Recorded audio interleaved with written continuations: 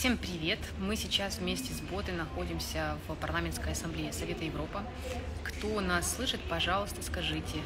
Все хорошо со звуком? Салам всем из Страсбурга. Ребят, вы нас слышите? Напишите что-нибудь, чтобы вы можете сразу шерить наш эфир. Да, скажите, слышно нас или не слышно? Потому что мы будем говорить об очень важных вещах. Мы хотим знать, э, что вы нас видите, да, помашите, пожалуйста, ребят. Да, просто скажите, слышно, не слышно, чтобы слышно, отлично, замечательно. Да, да, да.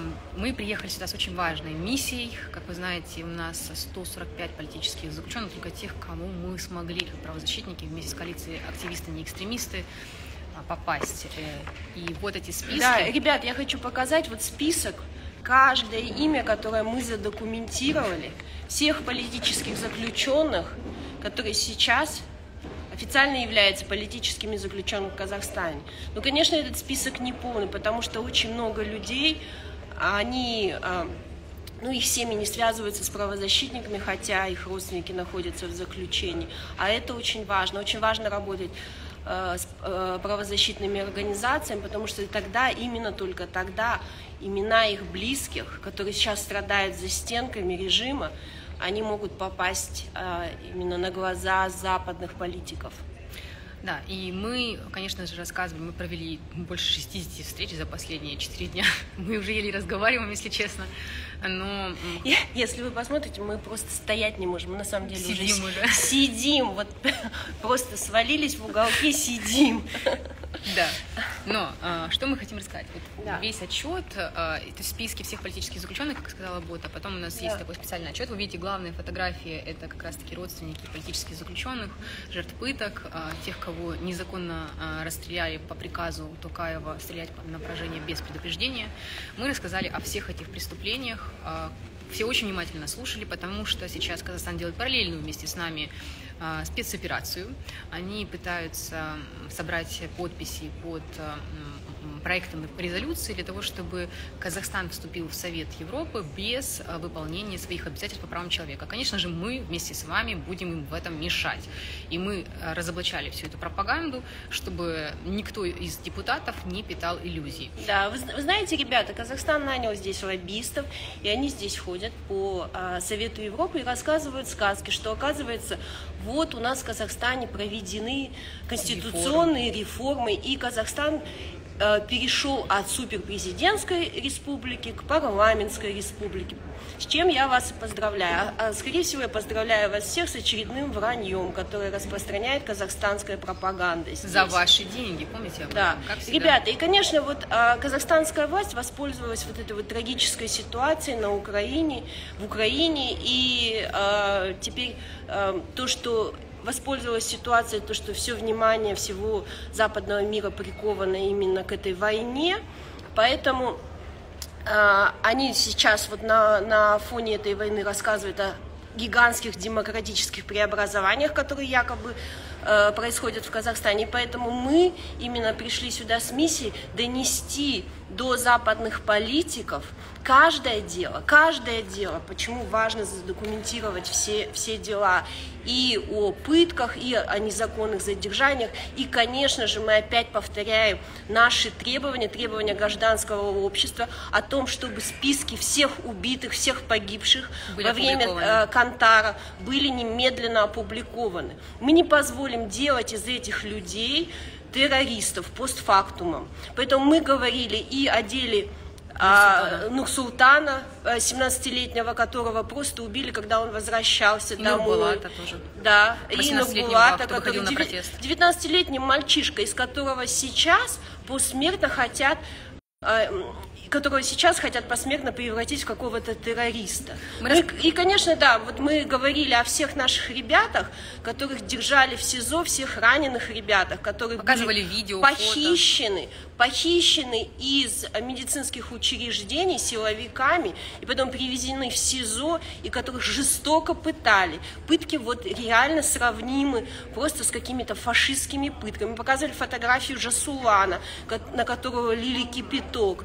Мы рассказывали, конечно, о том, что у нас сейчас ребята находятся под очередной новой волной преследования только потому, что они выходят на протесты и требуют, чтобы антикоррупционный комитет расследовал, нормально расследовал и произвели аресты всех тех людей, включая главу э, СИЗО Си-18 в городе Алма-Аты, э, которые непосредственно принимали участие в пытках и не позволяли, чтобы власти сейчас скрывать все улики пыток.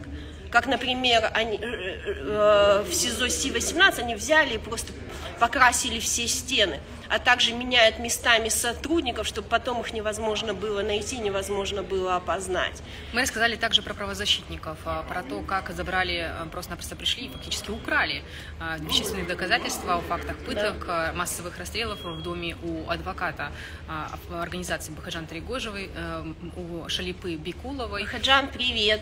Мы, мы да, говорили мы о вашем деле. Да, да, да, здравствуйте, Бахаджан.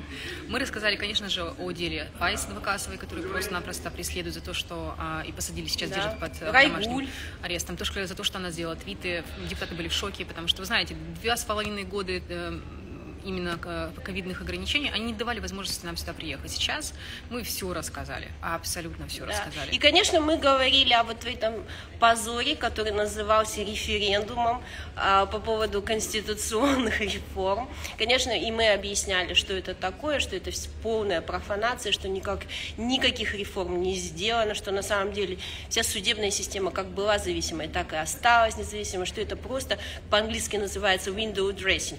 Просто вот называется называется, витрину чуть-чуть подкрасили, и ни в коем случае нельзя полагаться на вранье казахских дипломатов и лоббистов нанятых – о том, что в Казахстане произошли какие-то радикальные изменения. Ну и также мы говорили об Украине, потому что об этом невозможно молчать. И мы говорили о том, что вот эти Не всякие... дают выходить на протесты, что преследуют и превентивно, и в день протестов, и после протестов, и что все отменяют э, те же самые, даже а разрешенные протесты. То есть, что это абсолютный просто фасад, и ничего в Казахстане не изменилось. И также мы объясняли, что произошло на Петербургском э, форуме, потому что очень многие, к сожалению, вы тоже должны это понимать, и должны помогать нам опровергать эту пропаганду, очень сильно купились на выступление Тукаева прямо перед сидящим Путиным, что якобы он не признает а, э, ЛНР и ДНР. Но многие не услышали, конечно же, о том, что делает Казахстан да. для того, чтобы обойти санкции. И вот в этом ваша ключевая роль. Очень важно, чтобы вы дальше продолжали на Твиттере публиковать информацию, как именно Казахстан на сегодняшний день помогает России обходить санкции, потому что Европа платит очень большую цену. И когда они узнали, что Казахстан Казахстан помогает такие вещи делать, конечно же, многие из них были возмущены. И надо помогать этому возмущению, потому что так мы можем оказать еще больше влияния и разоблачать пропаганду режима э, Казахстана.